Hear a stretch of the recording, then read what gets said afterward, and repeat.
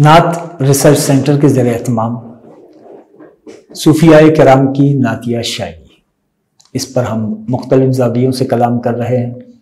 सैदना शेख अब्दुल कादिर जीलानी रहमत आपके फ़ारसी दीवान से हम मुख्तलिफ़ गोशे नज़र कर रहे हैं। हमने पहले शेख अब्दुल कादिर जीलानी के वो गोशे पेश किए कि वो किस तरह अपनी आजी का इजहार करते हैं, हुजूर की अजमत का बयान करते हैं।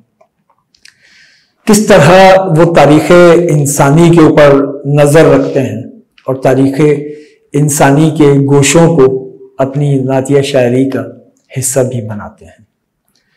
आज हम उसी मजमून को आगे बढ़ाएँगे।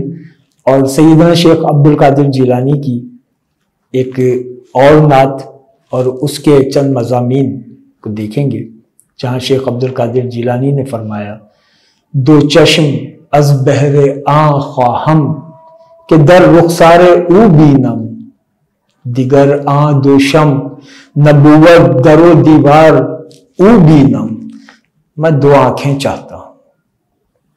इसलिए चाहता हूँ कि अपनी इन दो आँखों से अपने महबूब का रुखसार देखूँ, अपने महबूब के रुखसार की दीद के लिए मैं दो आँखें चाहता हूँ। मेरा महबूब घर में ना हो तो मैं उसके दरो दीवार ही देख लूँ। मेरा महबूब मुझे मिल जाए, उसके रुखसार को देख सकूँ, इसलिए दो आँखों का तालिब। यही मजमून फिर ज़रा से मुख्तलिफ़ अंदाज में हज़रत बेदम वारसी ने भी अपनी नातिया शेर में कहा कि जहाँ बेदम वारसी कहते हैं, जी चाहता है, तोहफे में भेजूं उन्हें आँखें, दर्शन का तो दर्शन हो, नजराने का नजराना। सईदना शेख अब्दुल कादिर जिलानी इसके बाद अपने इसी कलाम में फरमाते हैं, कुनन जा दर तनम आमद शुदो याबा जिया चश्मम। चू बालाए बुलंदो शेवाए रफ्तारे ऊ कि मेरे जिस्म को एक नई जान, मेरी आँखों को एक नई रोशनी मिल जाती है। जब मैं बुलंद कामत महबूब की रफ्तार को देखता हूँ मेरा महबूब तवील कामत है। मैं उसकी रफ्तार को देखता हूँ। मेरी जान को रोशनी मिल जाती है। अब आप इस मजमून में ज़रा सा गौर कीजिए कि तवील कामत होना, अगर कोई शख्स बहुत ज़्यादा तवील कामत है तो ये तो शख्सियत के हुसन के मुनाफी है। लेकिन रसूल अकरम सलाम की कामत के हवाले से सहाबा कराम की रिवायात हैं। वो कहते हैं कि हुजूर को अगर अकेले देखा जाए तो आपका कद मुबारक दरमियाने से थोड़ा सा निकलता हुआ था। और अगर हुजूर किसी इज्तमा में बहुत सारे लोगों के दरमियान मौजूद हों तो फिर उसमें सबसे बड़ा कद वो हुजूर का नज़र आता था। यानी मयाने से निकलता हुआ कद, लेकिन बहुत सारे लोगों में सबसे बड़ा कद। ये हुजूर के कद अनवर का मुआजा था, जहाँ अमीर खुसरो ने कहा, परी पैकर निगारे, सर्व कद्दे लाला रुख सारे। सरापा आफत दिल बूद शब जाए के मन बूदम।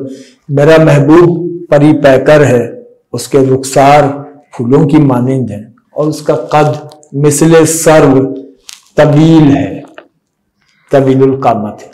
तो आकर जहाँ सलाम के कद मुबारक की बुलंदी का तस्करा किया, फिर आपकी रफ्तार का तस्करा किया कि आपकी रफ्तार तो वो है कि आप सात आसमानों पर जाएँ, वहाँ से होकर आ जाएँ और उसके बाद बिस्तर की गर्मी कायम हो और दरवाजे की कुंडी की हरकत अभी रुकी ना हो। तो कहा, कुनन जा दर तनम आमद शुदो। याबा जिया चश्मम, चू बालाए बुलंदो शेवाए रफ्तारे ऊ बीनम कि हुजूर, जब आपके तबील कामत हस्ती को मैं देखता हूँ, आपकी रफ्तार को देखता हूँ, मेरे रगो जाम है, एक नई ज़िंदगी सराइत कर जाती है। नख्वाहम दीदा रोशन, के बर गैर उफ्तद नागह हमा बेहतर के अज नूर रुखशो दीदारे उ बीनम मैं अपनी आँखों के लिए ऐसी बीनाई हरगिज नहीं चाहता जो बिला इरादा महबूब की तरफ़ से रुख को हटाकर किसी और तरफ़ हो जाए। बिल इरादा तो बहुत बात की बात है। इरा, गैर इरादी तौर पर भी महबूब की नज़रों से नज़र किसी और जानब हो ऐसी आँखें मुझे नहीं चाहिए। मेरी मुझे ऐसी आँखें चाहिए जो सिर्फ़ आपको देखें, सिर्फ़ आपको देखें और बस आपको देखें। और फिर कहते हैं कि बेहतर यह है कि मैं अपनी आँखों से उसके रुखसार को देखूँ।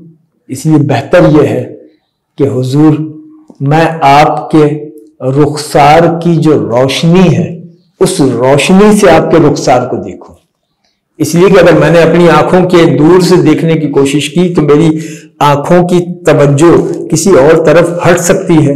लेकिन जब मैं आपके रुखसार की रोशनी में देखूँगा तो फिर आपके रुखसार की रोशनी मुझे आपके रुखसार से मेरी आँखों को हटने नहीं देगी। अब आप देखिए कि शेरी मजामी किस तरीके से शायराना उसलूब में बयान हो रहे हैं, कि सिर्फ़ अकीदत नहीं है, बल्कि शेर में शेरियत भी है। तो शेख अब्दुल कादिर जीलानी रहमत आपकी कादिल कलामी यहाँ नज़र आ रही है कि जहाँ अशार अपनी शेरियत के साथ नज़र आते हैं। आज सिलसिला कलाम को इसी पर मौकूफ करते हैं। अगली नशिस्त में नात रिसर्च सेंटर के ज़रिए तमाम इस सिलसिला कलाम में सईदना शेख अब्दुल कादिर जिलानी की नातिया शायरी के दीगर उनवानात को हम शामिल करेंगे। बमालीना इल्लल बलाग।